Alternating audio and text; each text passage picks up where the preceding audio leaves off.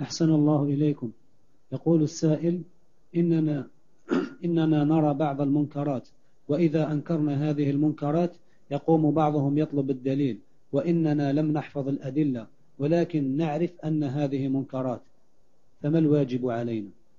كيف تعرف أنها منكرات وأنت ما تعرف الدليل؟ ما, ما تعرف ما ما يمكن أنك ما يمكن أنك تنكر إلا إذا كان عندك أدلة على هذا. ولهذا يجب التعلم.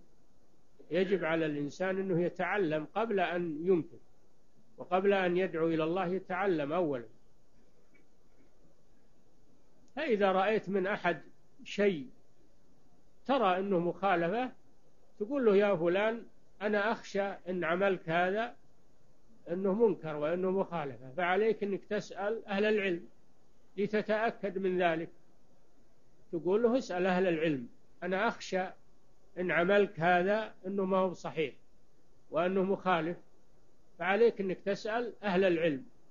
فإن كان فيه دين وفيه خير فسيحرص على سؤال أهل العلم وإن كان ما فيه دين فأنت بلغته ونصحته بقدر استطاعتك. نصحته بأنه يراجع أهل العلم ويسألهم عن عمله هذا. نعم.